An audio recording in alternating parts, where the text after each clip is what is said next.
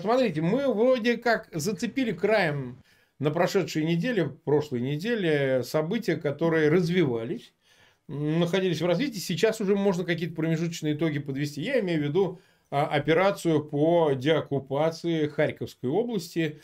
Ну и, конечно, здесь э, имеет э, некую пролонгацию, как алкоголики говорят, эта ситуация, пролонгацию, потому что мы видим, какие процессы запущены а, были этой победой, потому что многие вещи находятся хоть и в развитии, но уже с очевидным а, предсказуемым, я бы сказал, исходом. Ну, где-то, может быть, в каком-то ближайшем горизонте. Это касается позиции Запада, это касается Москвы, это касается пропаганды российской, это касается, собственно, и Украины.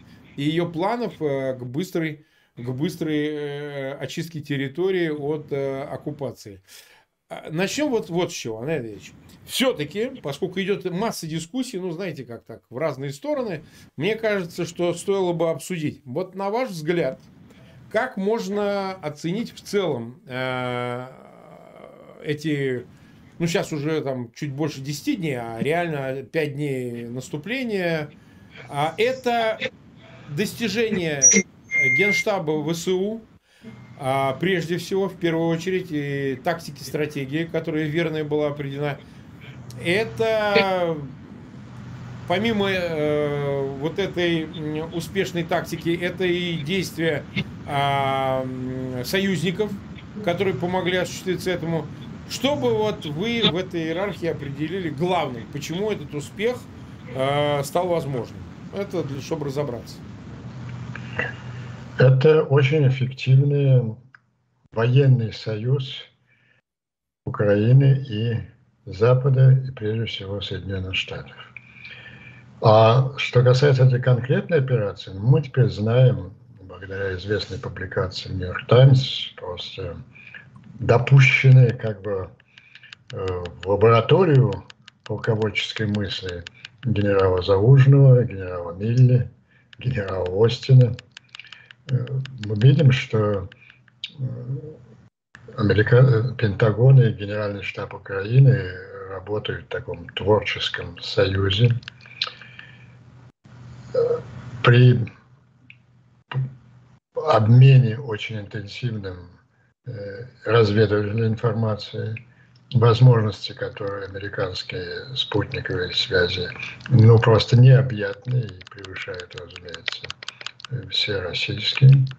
И этот союз э, дает, во-первых, очень эффективные военные результаты, а во-вторых, ну я немножко отталкиваюсь от вашего вопроса, забегаю вперед, мне кажется, что политические и психологические итоги вот этих прошедших 50 дней, они даже масштабнее, чем чисто военных.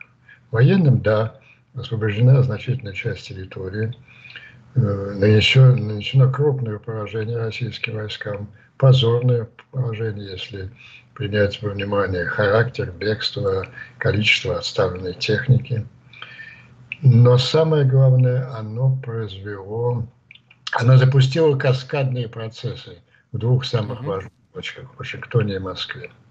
Вот и мы подробно, наверное, обсудим и ту, и другую тему, но э, я просто задам как бы нарратив, э, который господствует сейчас в американском медиа.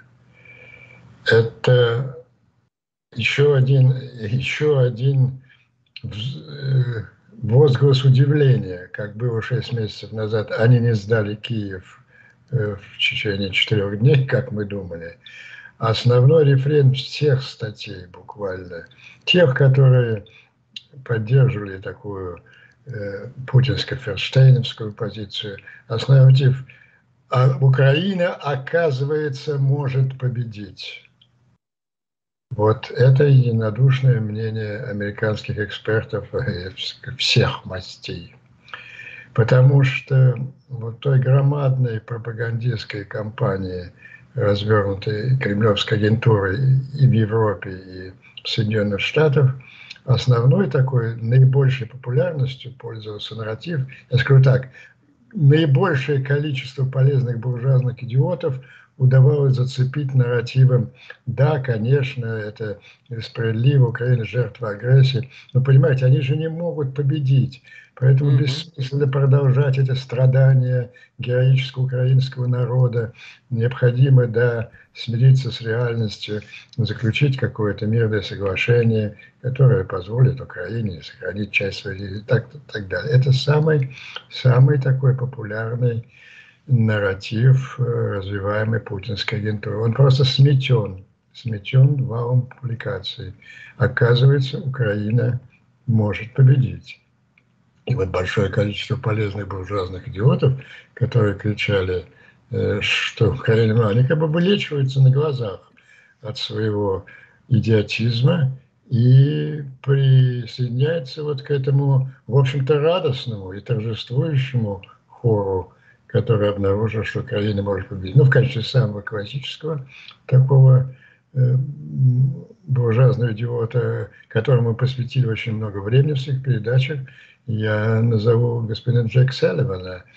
Вот mm-hmm. после того, как победа линии, э, линии Блинкина-Осина стала очевидной, они заставили его кровью расписаться и подтвердить полное единодушие американской администрации. На днях он сделал такое прошумевшее и, и широко цитируемое в украинских медиа заявление, что это исключительно дело Зеленского, украинской власти, украинского общества решать, когда и на каких условиях они могут пойти на переговоры с русскими, а сейчас нет времени на переговоры, нет возможности переговоров, а сейчас мы должны делать все, чтобы помочь Украине осуществить те цели, которые они ставили.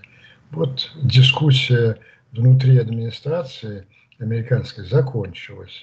И это самый, самый важный результат этих пяти дней, самый важный политический результат.